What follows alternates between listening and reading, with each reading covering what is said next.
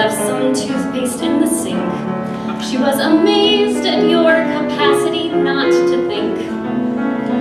She said your head was in a cloud and you talked way too loud. But my heart was set on you. My heart was set on you.